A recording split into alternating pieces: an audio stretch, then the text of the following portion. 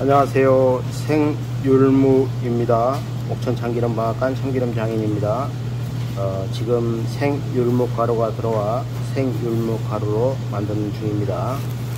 생율무 의, 의, 의인이라고 하는데요. 건강에도 매우 좋지만 피부 미용에도 많이 사용하고 있습니다. 얼굴에 팩 많이 하시죠? 미용 팩을 하실 때 이 생율무를 가루로 갈아서 어, 팩을 하시면 피부에 매우 좋다고 합니다. 대부분 여성분들이 사용을 하시는데요. 저도 가끔 사용을 해보는데 매우 좋습니다. 국산 생율무 가루가 다 되어 포장을 하는 중입니다.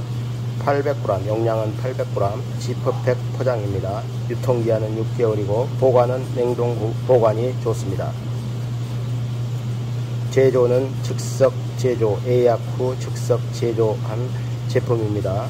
어, 오늘 만들어 오늘 택배 발송을 하면 내일 받아 사용하실 수 있습니다. 용도는 어, 죽을 끓여도 되지만 대개 피부 미용에 사용하고 있습니다. 얼굴 마사지, 피부 마사지에 율, 생율무 가루로 마사지를 하는 용도입니다.